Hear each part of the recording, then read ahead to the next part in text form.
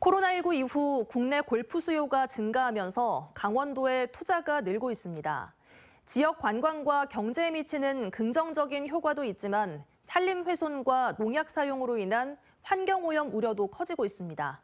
원주문화방송 권기만 기자의 보도입니다. 짙은 녹음을 뽐냈던 숲들이 사라지고 황량한 흙바닥이 모습을 드러냈습니다. 제법 큰 나무들을 베어내는 작업은 대부분 마무리됐고 지금은 산을 깎아 코스를 만드는 작업이 한창입니다. 27홀 규모의 골프장을 만드는데 158만 제곱미터의 산림이 사라졌습니다. 지정면의 골프장도 최근 2년 사이 18홀 코스를 2개 추가 개장하면서 전체 90홀 규모로 확장했습니다.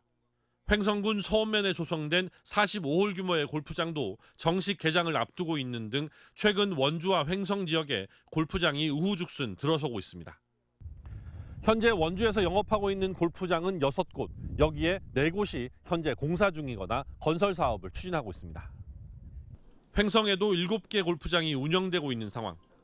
코로나19 이후 국내 골프 수요가 급증하면서 골프장도 늘고 있는데 KTX와 제2영동 고속도로 등으로 수도권 접근성이 높아진 원주와 횡성 지역에 골프장 건설이 잇따르고 있는 것으로 파악됩니다.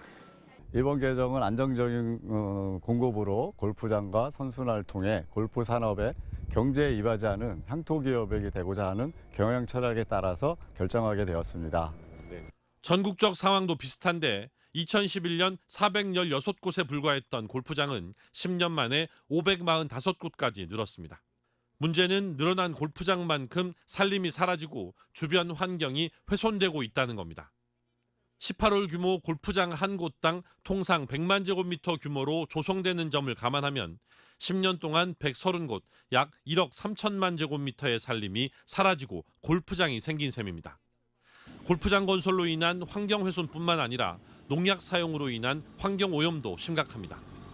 환경부에 신고된 골프장별 농약 사용 현황에 따르면 전국 550여 곳의 골프장에서 매년 200톤이 넘는 농약을 사용하고 있는데 그 양은 점차 늘어나고 있는 추세입니다.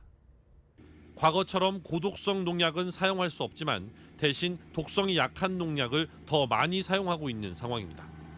정부와 골프업계가 농약 사용량을 줄이기 위한 협약을 체결하는 등 노력은 하고 있지만 최근 3년 동안 187개 골프장이 농약 과다 사용 등의 환경 오염 행위로 적발되는 등 여전히 자정 노력이 부족하다는 지적이 나옵니다.